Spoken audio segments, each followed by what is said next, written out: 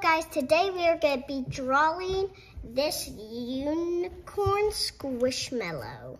Okay, so let's get started.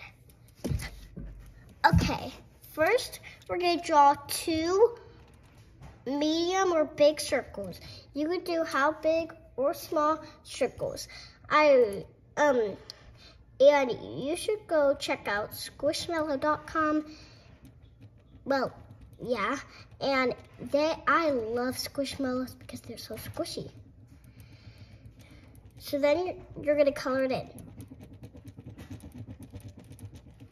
But don't color this big circle and this tiny circle. We're gonna keep those white.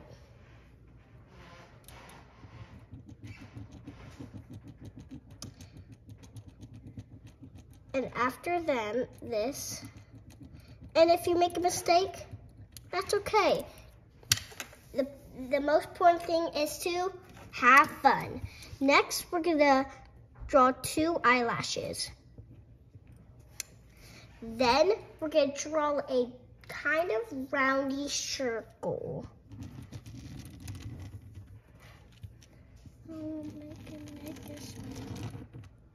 Now we're gonna draw the nose.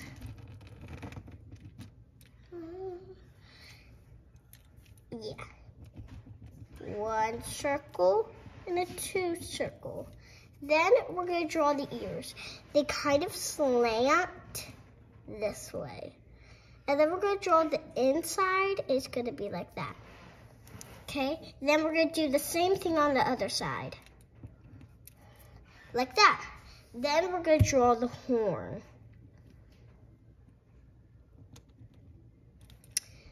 Three stripes. One, two, three. Next, finally, we're gonna draw the belly. and then we're gonna draw, yes, it does have a tail. So then we're gonna draw a tail. Okay, and that is how you draw a squishmallow. And um, um, make sure you go color it at the end and I will color it and you guys can copy if you want or you can do whatever kind of color you want.